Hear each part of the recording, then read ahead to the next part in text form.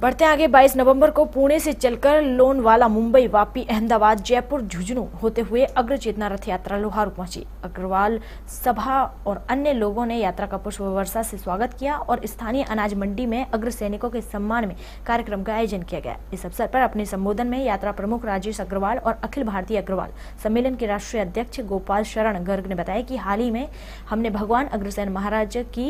इक्यावन जयंती मनाई है और इसी उपलक्ष्य में इक्यावन किलोमीटर की रथ यात्रा का आयोजन किया गया है। उन्होंने बताया कि इस यात्रा का उद्देश्य भगवान अग्रसेन का सद्भावना का संदेश जन, जन तक पहुंचाना है।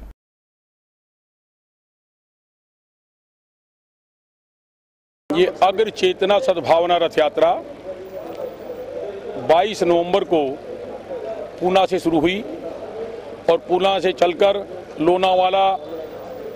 थाने बम्बई फिर वहाँ से वापी और गुजरात में बड़ोदरा सूरत, अहमदाबाद सब नगरों में होती हुई फिर राजस्थान में प्रवेश किया